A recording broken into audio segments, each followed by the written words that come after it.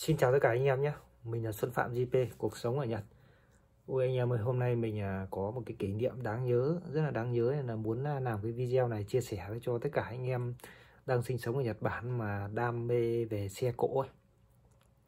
Mình à, có một mama người Nhật, Gọi là cô giáo dạy tiếng Nhật của mình. Mình hay gọi là mama vì cô rất là quý mình và mình cũng rất là quý cô. Thế thì hôm nay cô cho mình một cái cơ hội rất là đáng nhớ là được đến cái trung tâm bán xe của Toyota để trải nghiệm xe mới và tham khảo giá xe rồi tìm hiểu về xe.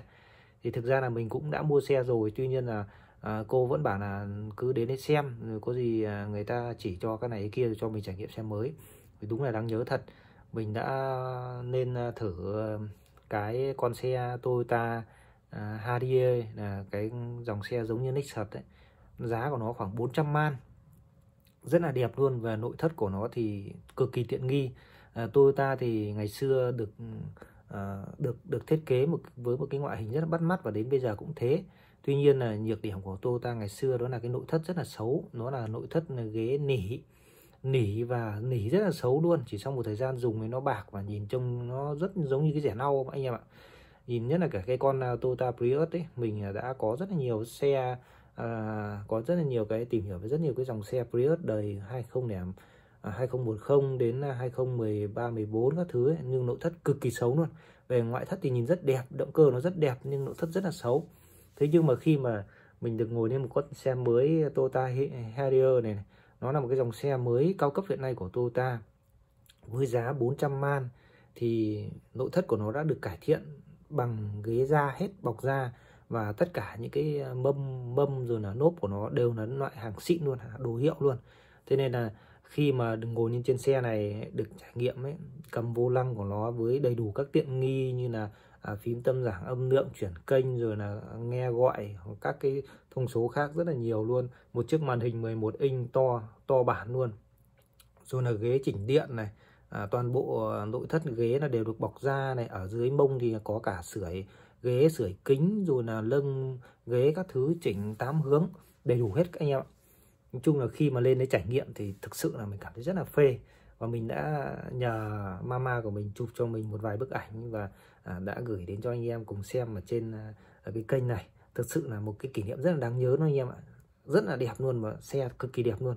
Kể cả sau đó mình chuyển sang một cái dòng của Toyota Yaris. Thì Yaris ở Nhật Bản nó khác Yaris ở các cái thị trường khác như là ở Việt Nam hoặc là thị trường châu Đông Nam Á nó là Yaris ở Nhật thì nó là cái cái dạng mà dòng xe cỡ lớn lớn hơn so với cả xe Yaris ở Việt Nam nó là dòng hatchback. Thế còn ờ, Yaris ở Nhật Bản nó là dòng 4 chỗ và nó nói chung là cái cái thiết kế bên ngoài nó rất là lớn. Nó rộng rãi hơn so với cả những cái con ờ, xe Yaris ở Việt Nam của mình. Đấy thì à, khi mà mình nhìn những con xe ở Nhật thì thực sự là dành cho thị trường Nhật mà anh em nó thiết kế rất là đẹp luôn. Hiện nay các cái dòng Toyota mới hiện nay rất là đẹp cực kỳ đẹp. Cho nên là Ờ, trải nghiệm xe của Toyota vẫn là một cái trải nghiệm đáng nhớ và nói chung Toyota vẫn xứng đáng một cái thương hiệu số 1 số 1 Nhật Bản. Thật sự là như thế. Còn ở trên thế giới thì bây giờ có rất là nhiều các hãng xe nổi tiếng khác. Nhưng tuy nhiên thực sự là nếu ở Nhật Bản mà anh em có điều kiện ấy, thì thực sự mình khuyên thật anh em là lên một lần trong đời trải nghiệm một chiếc xe mới ở Nhật Bản. Thật là tuyệt vời anh em ạ. Ngồi trên xe đấy rất là sướng luôn. Thực sự là uh, nếu như là anh em không phải là những cái người có tiền như cái bạn tạo thật à, tạo ừ, cái bạn là hôm trước mình xem là Lê Mạnh Cường à? Bạn Lê Mạnh Cường hay bạn gì đấy? Ở trên à, Facebook mình có kết bạn với bạn đấy thì bạn ấy là một người rất là trẻ có một công ty riêng chuyên buôn bán về thực phẩm rồi là các làm các dịch vụ bên Nhật này. Nên bạn ấy rất nhiều tiền vừa rồi bạn ấy làm một cái con à, Toyota Alphado bản cao cấp nhất là 750 man. Mình có một cái mình đã lấy được một uh, tập ở đây. Các bạn xem nhé. Khi mình đến đấy thì người ta cho mình một cái một tập các các catalog. Được chưa? Hoàn toàn miễn phí luôn anh em nhé. Một tập catalog đây alpha đồ đây các bạn nhìn này. Alpha đồ luôn đây và nó có bảng giá ở đây. Bảng giá đây rất là nhiều luôn. Thì ông cái ông mà cái ông ở cái à, ông uh, bán hàng ở đấy đấy. Thì ông ấy giới thiệu cho mình đây các bạn này. Mình đã kiểm chứng được luôn nhá. Nó là 750 man luôn anh em nhé cực kỳ rộng rãi và đẹp đẽ luôn đẹp luôn. Đấy thì muốn à, làm cái video hướng dẫn uh, giới thiệu giới thiệu cho anh em về các cái dòng xe Toyota. Mình sẽ nghiên cứu những quyển catalog này sau đấy thì sẽ um, giới thiệu đến cho anh em về các cái dòng xe Toyota bản mới để anh em có thể tham khảo. Uh, thêm về cái giá xe mới ở Nhật Bản nó có uh, đắt hay là nó như thế nào thì anh em cùng vào đây tham khảo những cái quyển catalog này. Cực kỳ hay luôn thì người ta đã làm hết những quyển catalog rồi rồi rất là nhiều rất là nhiều các cái à, giới thiệu rất là nhiều tính năng và nó đầy đủ. Thay vì anh em phải mất công lên internet tìm hiểu thì anh em cứ vào trong cái kênh của mình anh em xem à, cùng với mình để trải nghiệm về các cái dòng xe mới ở Nhật Bản. Thực sự rất là hay.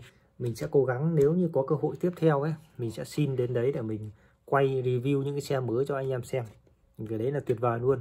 Chỉ đều là thực sự là cái đấy chắc là sẽ rất là khó khăn thế nhưng nếu có cơ hội mà thực sự là mình được anh em ủng hộ ấy, anh em ủng hộ mà mình có thể mình à, công việc kinh doanh của mình nữa, cũng à, gặp thuận lợi hoặc công công việc của mình gặp thuận lợi, mình có điều kiện thì chắc chắn là mình sẽ mua một chiếc xe mới. Thì lúc đấy thì mình sẽ xin phép người ta cho mình quay video đầy đủ từ lúc quá trình mình mua xe như thế nào để giới thiệu cho anh em à, trải nghiệm được cái xe Nhật ở Nhật như thế nào. Thực sự là nó rất là tuyệt vời.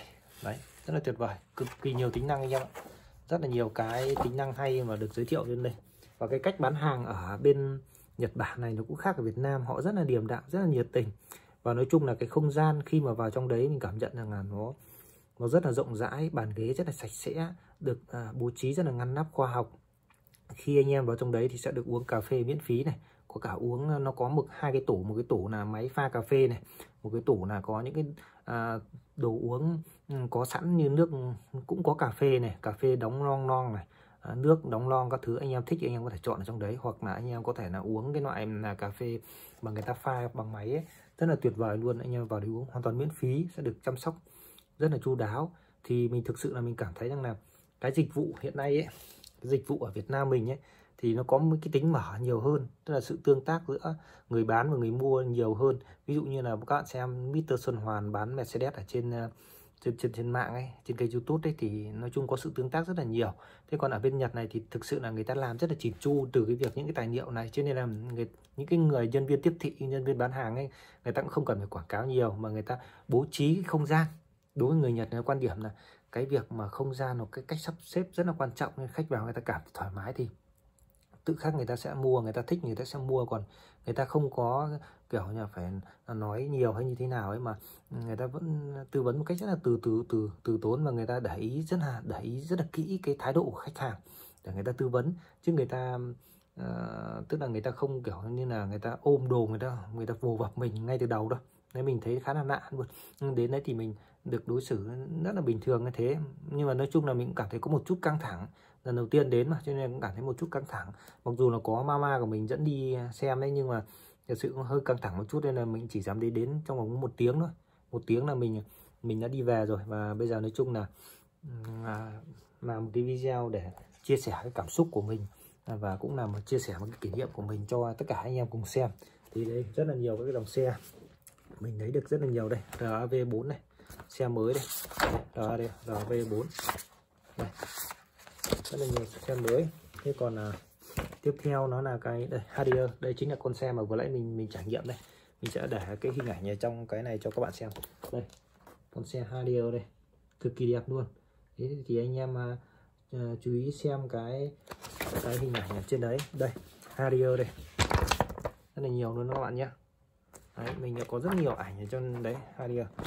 Cực kỳ nhiều tính năng thì mình sẽ đi mình sẽ đi tìm hiểu những quyển catalog này sau đó mình sẽ làm những video chi tiết về từng cái dòng xe ở Nhật Bản này cho anh em nào mà có nhu cầu muốn mua xe hoặc là muốn tham khảo xe thì anh em xem. Thì mình có chút kinh nghiệm. Thế thì chia sẻ mình biết chắc là anh em đã mua xe mới thì anh em sẽ phải tìm hiểu rất là kỹ rồi. Nhưng nhiên mình cũng muốn đây là một cái kênh tham khảo cho anh em xem. Như CHR này CHR đấy. Thì như là hoặc là đây? Yaris này. Yaris này. Đây Yaris tiếp này. Nó có rất nhiều Yaris Yaris Cross này. Thế còn đây là Alpha đồ đây. Tôi ta Alpha đồ các anh xem chưa? Tuyệt vời luôn đấy rất là nhiều catalog như thế. Thì hôm nay chia sẻ một chút thế cho anh em xem. Thì uh, anh em cảm thấy hay thì nhớ đăng ký kênh và chia sẻ cho mình nhé. Cảm ơn tất cả anh em. Xin chào tất cả anh em.